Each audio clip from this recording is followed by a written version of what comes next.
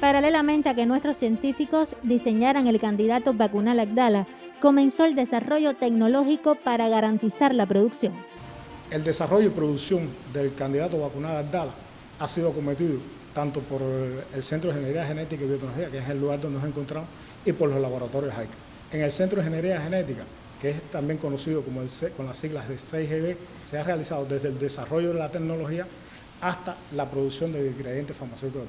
Nosotros hemos eh, logrado el escalado hasta la máxima, máximos niveles productivos en el CGB y nos encontramos en un, en un momento importante de generar productos para el mercado nacional principalmente. Hasta el momento, más de 5 millones de dosis del candidato vacunal han sido distribuidas a la red nacional.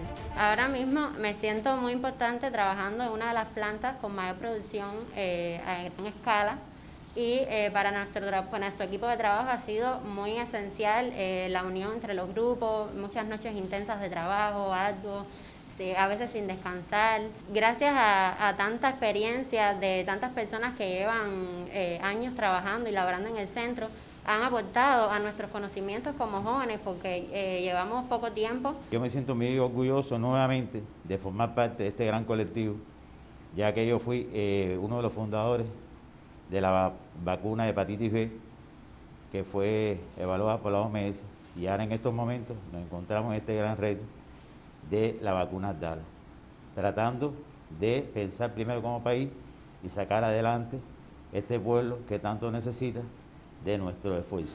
Así, todo el colectivo del 6GB se suma al reto de la producción masiva de Agdala en poco tiempo. El desarrollo acelerado de la tecnología ha permitido la entrega a tiempo de productos para ensayos clínicos, estudios de intervención e intervención sanitaria y están creadas todas las condiciones para continuar con la producción de Agdala cuya eficacia es del 92,28%. Ha sido un reporte desde el 6GB de Wilbert Crespo y Angélica Arce Montero, especial para la Mesa Redonda.